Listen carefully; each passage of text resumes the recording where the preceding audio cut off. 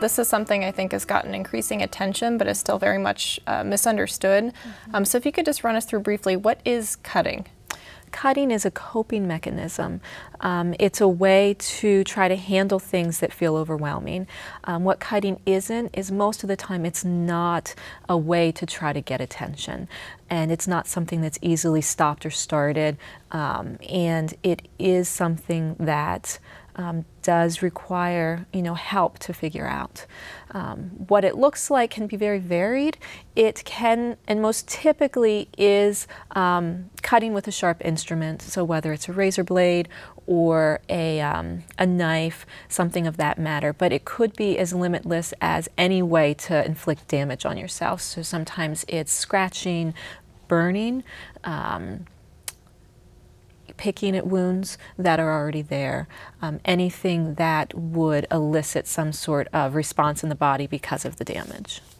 And in your treatment, have you been seeing an increase in this type of behavior? Um, that's hard to answer. I think we're talking about it more. I would say that I think there is a prevalence of it, and unfortunately, where I think the prevalence is um, increasing is in younger children.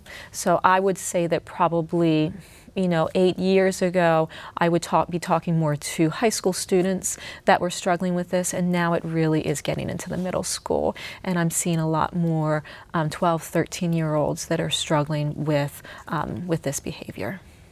So, is there, a, on that note, like a profile of, a, a, a, statistically speaking, a, typical cutter?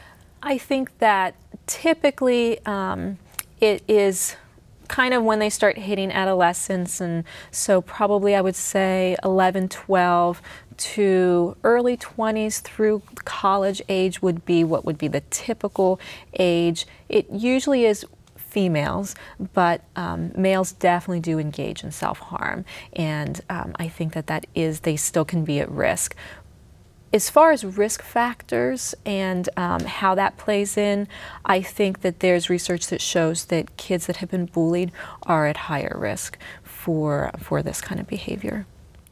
Are there any situations where, um, you know, certain events are more likely to trigger cutting, um, be it in the home or at school?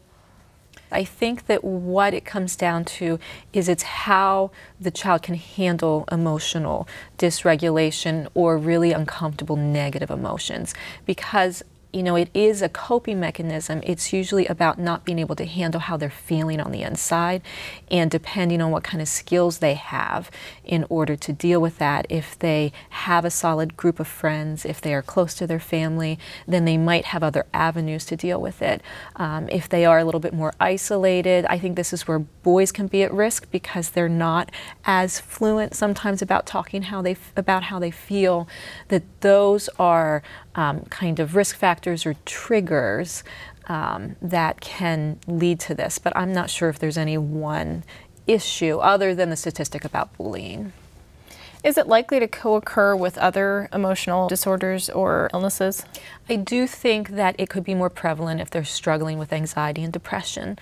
Again, they're, you know, cutting is a way to try to cope with or handle um, these feelings. And so if they're really struggling with anxiety, if they're struggling with depression.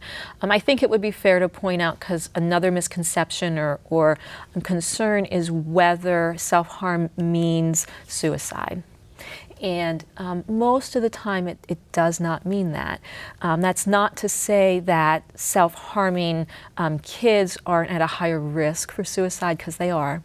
But in the moment when self harming is occurring, um, most of the time it's not about trying to kill themselves, it's about trying to cope with what they're feeling.